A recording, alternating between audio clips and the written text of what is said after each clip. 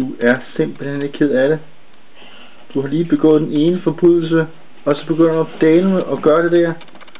Du er, hvad jeg vil kalde en forhærdet kriminel. Du.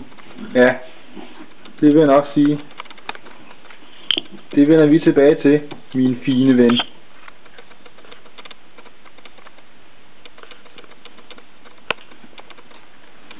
Hvad er det der? Den der skulle være ude under, trappen. Hey. I am talking to you. Look at me. Yeah. You have the right to remain silent. You have the right to get a lawyer. Ah, hardened criminal.